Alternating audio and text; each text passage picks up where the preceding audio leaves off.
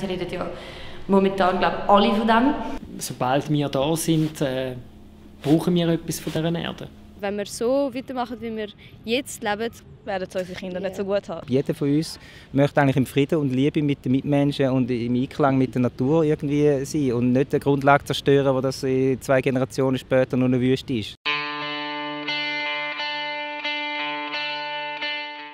Im Grunde genommen ähm, finde ich es gut, wenn es ein bisschen grüner ist. Äh, wobei grün einfach auch nur ein Name ist, wie man sieht, irgendwie bei den Grünliberalen quasi. Das ist einfach das Grüne vorne, aber irgendwie wirklich grün sind sie nicht. Also ich würde sicher schauen, die Partei, die für das ist. Nicht der Fall Grüne oder SP. Ich ich beobachte es einfach auch ein bisschen mehr so ein bisschen als Trend. Ja klar, hat es äh, beeinflusst, das ist ein grosses Thema. Ja, es ist wichtig, ja. Bis jetzt habe ich einfach, denke ich so, man geht ein bisschen an den Wurzeln vorbei. Nachhaltigkeit, ja. sicher. Aber ich denke, es wird viel auf Nebenschauplätze gehen, oder? Ich bin auf jeden Fall für Umweltschutz und so weiter, das Zeug. Ich finde, dass das einfach mit der CO2-Steuer überhaupt nicht gelöst ist. Sagen wir, Fukushima läuft weiter aus. Wo ist unsere internationale Gemeinschaft? Also weißt, jenste Problem, Regenwaldabholzung, hätte man nachhaltig alles können lösen, wenn man die Gelder vom Irakkrieg allein in das investiert hätte.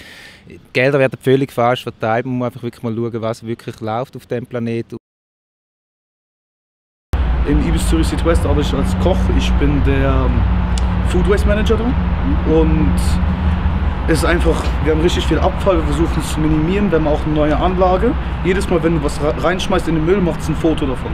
Was du reinschmeißt, das wiegt es genau ab und so können wir das minimieren, was wir weniger bestellen müssen und so passt es das an. Ich arbeite schon relativ lange bei Freitag und da das bei uns wirklich in allem, was wir machen, das Thema ist, ähm, ja, habe ich mir dann natürlich schon viel mehr Gedanken gemacht. Für mich als Künstler ist Nachhaltigkeit total wichtig. Wie, wie bei Conagua muss mich einladen, dass ich nächstes Jahr CO2-frei mit dem Schiff kann auf Südafrika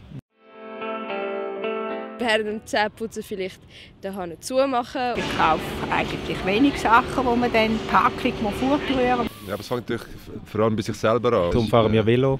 Essen kein Fleisch. Äh, immer Papier statt Plastik nehmen und keine Strohhalme werfen den Abfall einfach in den Kübel, weil es geht. Ist nicht so schwierig. Ich kaufe nicht wahnsinnig viel Neues ein. Also bei den Kleidern ist es mehr Secondhand oder wir tauschen es untereinander aus, unter Freunden. Man sollte doch einfach im Einklang mit der Natur leben. Dass man halt auch mehr so saisonale Sachen kauft. Ich nehme meinen eigenen Sack mit, wenn ich posten ich schaue, dass ich nicht zu viel konsumiere. Wenn ich etwas kaufe, dann schaue ich, dass ich auch nachhaltige Sachen kaufe. Nicht für jeden Bullshit geht das Plastiksäckchen nehmen. Wir müssen wieder regional denken und auch die Regionalen unterstützen. Und Fliegen auch fast nie. In meinem ganzen Leben bin ich bin über 70, siebenmal geflogen. Immer wenn ich Sachen bestelle, ich sage ohne Verpackung bitte. Dass man äh, recyceln, dass man nicht so viel fliegt oder halt, wenn man fliegt, dann muss es sich auch lohnen. Ich esse auch, wenn es was nicht gut ist, einfach weil es nicht opfert Du musst die Änderung sein, die du erwartest in dieser Welt. Ich denke, es muss bei jedem Einzelnen anfangen. Einfach posten, weil praktisch jeder ist heute online, egal ob es Insta ist, Snapchat oder Facebook es müssen einfach mehr Leute sehen. Freundeskreis vor allem, du kannst, kannst viel be bewirken. Jetzt noch mehr, als wenn du an der Straße stehst und die Leute willst, willst belehren willst. Wenn sein eigenes Umfeld versucht, positiv zu beeinflussen, ist sicher das meiste, was man machen kann. Wir sind am Scheidepunkt. Das Menschheit sehe ich eher so. Es kommt jetzt darauf an, die nächsten 30 Jahre, in welche Richtung dass wir gehen. Oder? Die Welt ist ja eh schon ziemlich kaputt. Schauen wir, dass wir sie nicht noch mehr kaputt machen. Und es gibt schließlich Kinder. Ich glaube, es ist spät, aber lieber spät als nie. Kritisch. Also das müssten wirklich alle mitmachen.